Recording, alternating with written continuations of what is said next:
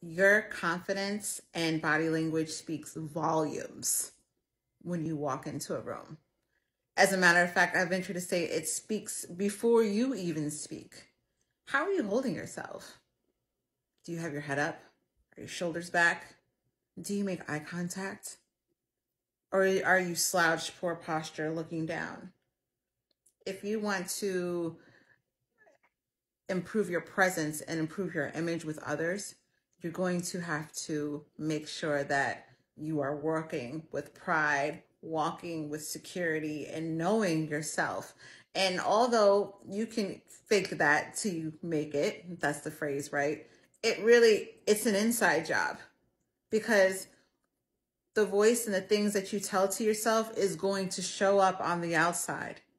So are you being mean? Are you being a mean girl? Are you being a jerk to yourself? Is that what your inner voice is always telling you what you can't be, what you don't want to, what you're not going to be able to do? Or are you loving on yourself and accepting your flaws and always working on yourself and being your biggest fan? Because baby, if you're not the star of your own show, then what's the point?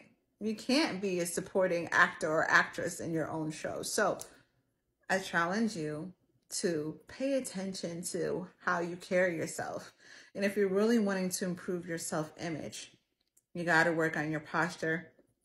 You got to work on your eye contact and making sure that you're carrying yourself with some level of pride. All right.